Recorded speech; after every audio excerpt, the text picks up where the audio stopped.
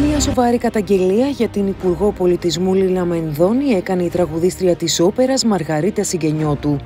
Όπως καταγγέλει η τραγουδίστρια, η Υπουργός παραποίησε επίσημο έγγραφο της Ευρωπαϊκής Ένωσης και συγκεκριμένα το κείμενο της διακήρυξης των Υπουργών Πολιτισμού, Οπτικοακουστικών Μέσων και Μέσων Ενημέρωσης για την κατάσταση στην Ουκρανία και τα μέτρα που πρέπει να ληφθούν προκειμένου να επιβάλλει λογοκρισία πρόσθεσε στη διακήρυξη ανύπαρκτη απόφαση περί διακοπής των σχέσεων της Ευρωπαϊκής Ένωσης με πολιτιστικούς οργανισμούς της Ρωσίας. Σύμφωνα με ανακοίνωση του Υπουργείου Πολιτισμού, οι υπουργοί στην ανακοίνωσή τους τόνισαν ότι πρέπει να διακοπούν οι σχέσεις της Ευρωπαϊκής Ένωσης με πολιτιστικούς οργανισμούς της Ρωσίας, καθώς η τέχνη χρησιμοποιείται ως όργανο προπαγάνδας.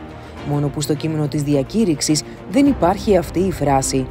Όπως επισημαίνει με ανάρτησή της στο Facebook η τραγουδίστρια της όπερας κυρία Συγγενιώτου, η κυρία Μενδώνη παραποίησε επίσημο κείμενο της Ευρωπαϊκής Ένωσης για να δικαιολογήσει την πολιτική της και στοχοποιεί για μια ακόμη φορά τον πολιτισμό.